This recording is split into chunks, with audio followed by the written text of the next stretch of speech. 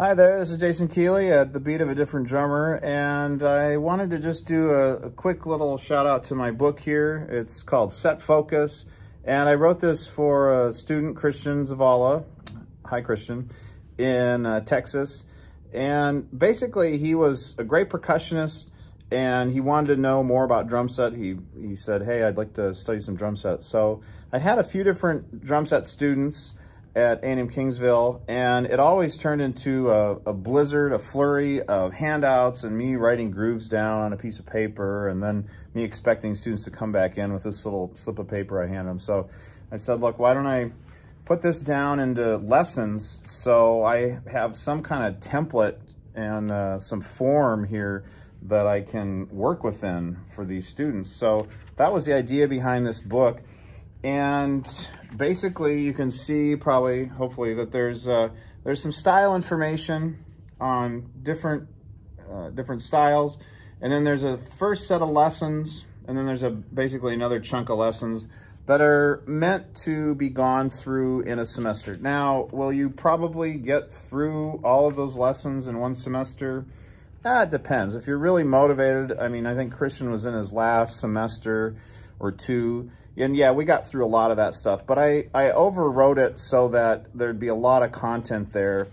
And you could definitely do it over a period of two semesters for this first chunk of lessons, possibly even three, depending on how deep you want to go. Because after you get some of this style information, and there's a lot of, lot of information here, like the legato idea here on page 10 that I got from Jim White at Northern Colorado. Thank you, Jim. And uh, once you get through that, you get to these lessons. So the lessons are, there's kind of an overview, and then it gets into a technique chunk.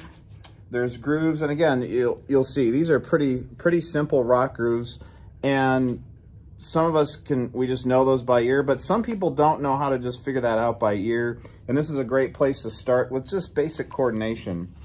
And there's some fill ideas. Again, these are basic fills, but for people who maybe don't, if you've only played jazz and you know nothing about rock or funk, this is, can be a great asset. If you don't know anything about jazz or have only, maybe if you've only done combo and you have never done any big band, there's some basic figures here. And there's some history on the drum set just to try to give a little bit of uh, depth to the student's knowledge. History of some drummers, and then I have some tunes listed because I was forever saying, well, why don't you check out check out this tune or check out this artist? And students would say, well, I don't, you know, I don't know anything except uh, ex except for this artist, and you know, maybe it wasn't a drum heavy thing. And so I would say, well, check out some of this stuff with a slower, basic groove that you can kind of get into. And I did that for rock and I did it for jazz here. So that's the general construct of each lesson. There are, just real quick, let me point out, I put recommended books because this is this whole thing is kind of an introduction to a bunch of different things because if you know some of these books uh, like uh, the Houghton Studio and Big Band Drumming. It's an older book, but I love it. It's a great book to learn figures from if you're working figures in here and you go, I, I, need a little more, well, then you can go and work in this book. If you're looking at some of the uh, independent stuff and you want more on that, for uh, people who know John Riley's Art of Bop Drumming, that's a great book for all things bop drumming and combo drumming. And then you can go dig in that book.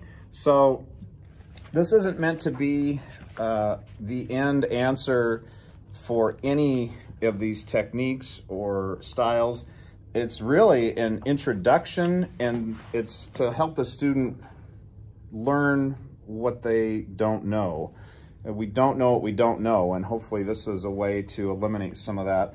And so I put, I also put recommended jazz drum set solos here, and I put some uh, big band drummers for Basie, Ellington, and Herman, just uh, just because I'm interested in that sort of thing. So yeah, there's a couple charts at the back too, just for practicing reading. So this is my book, Set Focus, from Bachovich. It's available at bachovich.com. It's also on steveweissmusic.com. Check it out. Thanks for watching. Appreciate you very much. Talk to you soon.